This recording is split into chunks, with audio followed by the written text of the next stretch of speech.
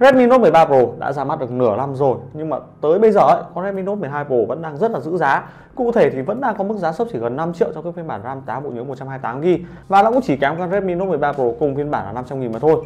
Vậy thì tại những cái gì mà con Redmi Note 12 Pro tại thời điểm này mà vẫn còn đáng giá ở cái mức giá bán như thế và thay vào đó thì có nên là bỏ thêm 500 000 để mà lên hẳn con Redmi Note 13 Pro này hay không thì phải xem hết video này mới biết được nhá. Và chào mừng em tới với thứ ba chế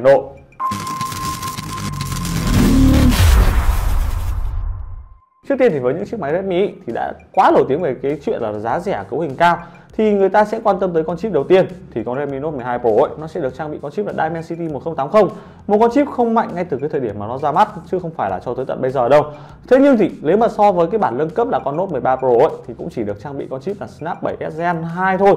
À, thì cũng không phải là một con chip khá là mạnh cũng chả nhỉnh hơn con Dimensity 1080 này là bao mà với những cái trải nghiệm của mình ấy với con chip Dimensity 1080 này không chỉ là trên dòng riêng làm Note 12 Pro đâu mà còn một vài chiếc máy khác nữa thì lại nó khá tốt ở cái khoản mà chạy ổn định và mát mẻ và cái khả năng tối pin cực tốt nữa.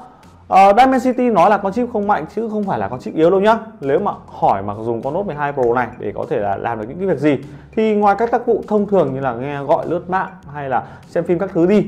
Thì tới giờ con Note 12 Pro này nó vẫn có thể là chiến mượt mà tất cả các tựa game tầm trung như là PUBG Mobile đổ về Lên quân tốc chiến các thứ ok hết.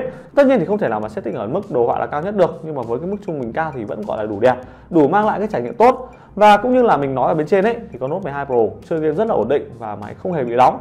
Kể cả là khi mà anh em so trải nghiệm với con Note 13 Pro mới ra mắt gần đây đi chưa kể là con Note 12 Pro còn chơi tốc chiến được ở mức là 90 fps cho anh em nào mà chưa biết nhá.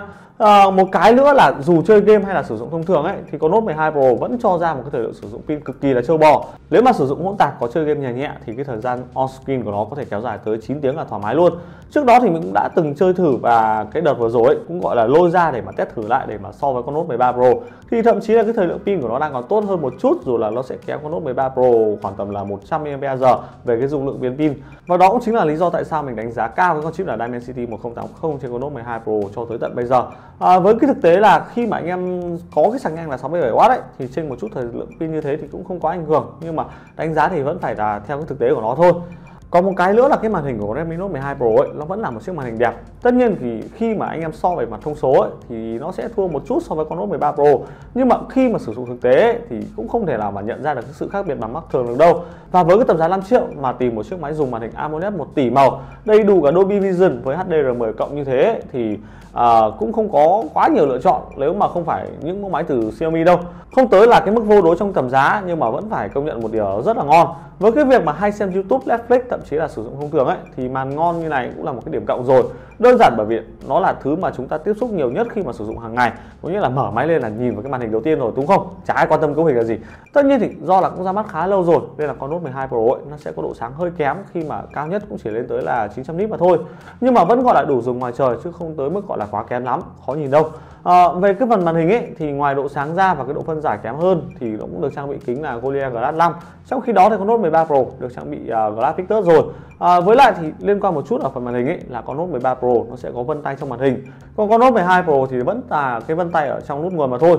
À, một sự chênh lệch giá khoảng tầm 500 nghìn mà thấy ở màn hình thôi thì cũng gọi là đủ để mà anh em đánh đổ rồi đúng không? Cái nữa là camera của Note 12 Pro ấy, cũng chỉ là 50 megapixel thôi, trong khi đó thì con Note 13 Pro lên tới là 200 megapixel. Một thông số cực kỳ là khủng. Nhưng mà anh em cũng biết là những chiếc camera của Xiaomi, đặc biệt là trong dòng Redmi rồi đúng không?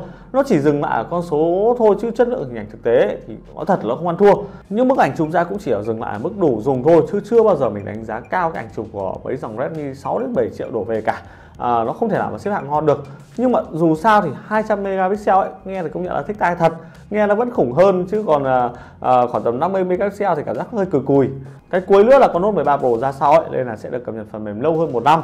Tính ra thì cũng gọi là đáng giá hơn. Và tất nhiên thì con Note 12 Pro ấy, nó sẽ sớm trở lên lỗi thời. Thế nhưng thì nếu mà hỏi con Note 12 Pro dùng được bao lâu nữa ấy, thì ít cũng phải tầm là 2 đến 3 năm nữa là thoải mái. Còn về cái thiết kế thì cái này cũng tùy theo thẩm mỹ của mỗi người thôi. Do thì nó vẫn là lưng kính không nhôm uh, như nhau cả nên là về khoản thiết kế thì mình sẽ không đánh giá gì nhiều thêm uh, anh em cũng xem nhiều rồi cho nên cái khoản đẹp điếc thì uh, anh em cũng có thể tự so sánh nhá và tổng kết lại thì nếu mà bù thêm 500 nghìn ấy mà mua con Note 13 Pro thì tất nhiên nó sẽ đáng giá hơn rồi. Chúng ta lại còn có con chip mới hơn dù là không trộn hơn nhiều. À, vân tay trong màn hình này camera 200 megapixel và được cập nhật phần mềm lâu hơn một năm nữa. Nhưng mà không có nghĩa là con Note 12 Pro ở thời điểm này nó không đáng mua đâu. Mình thấy rằng là con Note 12 Pro ấy nó vẫn là cực ngon với những gì mà em nó đang có. Một con chip chạy mát mẻ ổn định vẫn đảm bảo được cái phần hiệu năng. Một thời lượng pin phải nói là cũng cực tốt. Một màn hình đẹp này và cũng gọi như gần như là đây là cái đánh giá con Note 12 Pro khi mà đặt cạnh với những chính anh em Redmi của nó thôi. Chứ nếu mà so với các đối thủ khác thì nó vẫn đang có sức cạnh tranh cao lắm. Túm lại thì con Note 12 Pro này vẫn gọi là đáng mua. À, anh em nghĩ sao về con Note 12 Pro này? Anh em chơi game nó có ổn hay không? Thì có thể là cho mình biết ở bên dưới nhá. Giờ thì cảm ơn anh em đã nghe. Tạm biệt anh em.